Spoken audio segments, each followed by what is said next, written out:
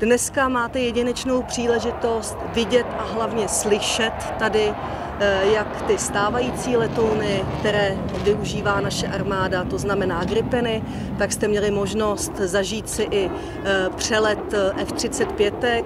Dneska za malou chvíli tady oznámí i společnost BAE, že rozšířila eh, počty českých firm, eh, českých vlastně eh, českých zbrojních firm, které budou participovat na té zakázce na pořízení bojových vozidel pěchoty.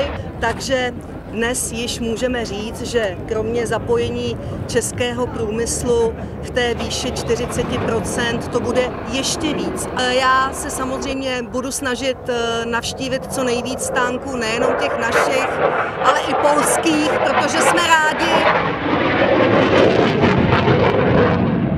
jsme rádi, že Polsko přijalo statut partnerské země a že tady můžeme být i s nimi a ukázat si i vzájemně tu techniku a případně i s Poláky udělat nějakou podobu spolupráce. Opravdu na vládě pana premiéra Fialy a na nás všech ministrech bude to rozhodnutí rozhodnout se, u jakého stolu chceme sedět.